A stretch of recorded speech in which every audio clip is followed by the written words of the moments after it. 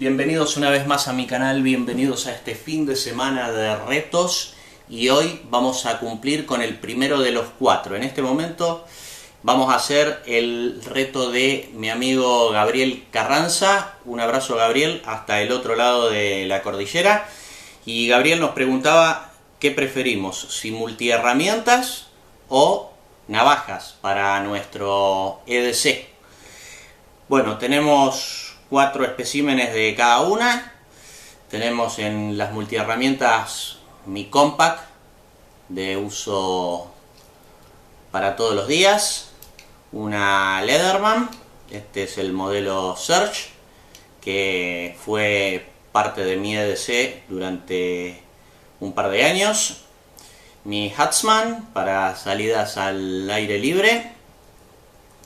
Y también tenemos esta Ruike la M42, eh, que la estoy usando hace aproximadamente una semana, una semana y media, y que quiero comparar con la Hatsman, quiero darle un poquito más de, uso, la estoy llevando y, utilizando sus herramientas todos los días. Eh, cuando tenga un poco más eh, un poco más de experiencia con ella le vamos a hacer la comparación con la Hatsman y después cuatro navajas, navajas eh, de una sola hoja, ¿sí? o cuchillos plegables, folding knife. ¿sí? Tenemos esta Magnum de la casa Boker, muy bonita, con unos colores en la madera muy bonita, con bloqueo liner lock. Tenemos también esta Back 110, una navaja clásica entre las clásicas. Tenemos esta Smith Wesson con camo digital y hoja combinada y después tenemos esta de el artesano argentino Martín Neto también una muy muy bonita navaja que he utilizado en, algunas oportunidades también con, con bloqueo liner lock ¿sí? una con bloqueo backlock y tres con bloqueo de liner lock y bueno, vamos a lo que vinimos. ¿Qué es lo que prefiero yo, Gabriel? Bueno, yo sin duda prefiero las multiherramientas, ¿sí? Esta es hoy parte de mi EDC, esta también, esta lo fue, esta es para cuando salgo a la naturaleza.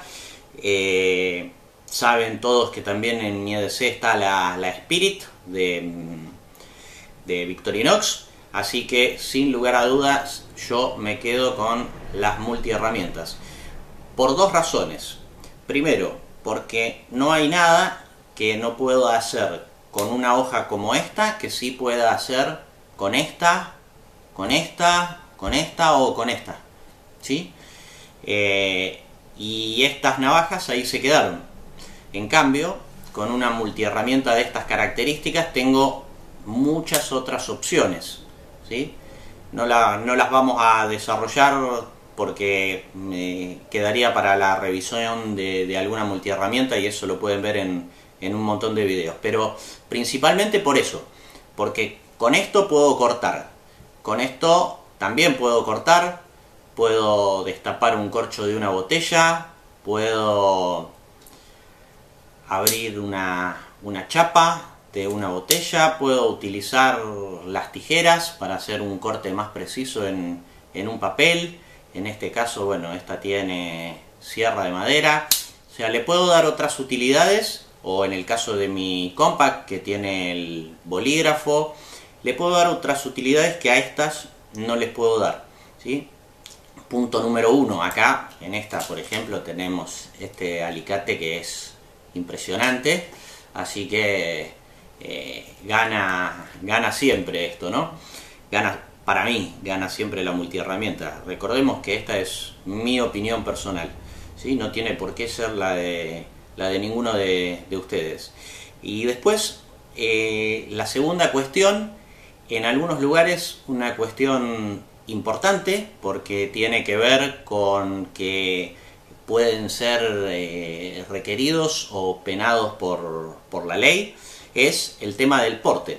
¿sí? Eh, en en muchos lugares eh, el hecho de, portar una navaja de estas características o de estas características con, con apertura asistida por este flipper eh, puede ser eh, riesgoso a la hora de toparse con la autoridad y también es algo agresivo a la vista del resto de las personas. Cosa que no sucede con una multiherramienta, con algo como, como esto, que si bien tiene una hoja muy muy potente, vamos a ver que en este caso tiene apertura a una sola mano y tiene bloqueo también, eh, no es tomado por la autoridad con la misma rigidez eh, que puede ser una navaja como esta o una navaja como esta. ¿sí? Así que eso es eh, en sí mi respuesta, Gabriel. Espero que, te haya gustado, espero que hayas disfrutado del video. Compañeros, espero que, ustedes también hayan disfrutado del video. Si alguno no, se unió todavía al reto de Gabriel, los invito a hacerlo, los invito a visitar su canal. Si les gustó el video se pueden suscribir, pueden darle un like. Como siempre, amigos, gracias por estar del otro lado y nos estamos viendo en un próximo video. Chau, chau.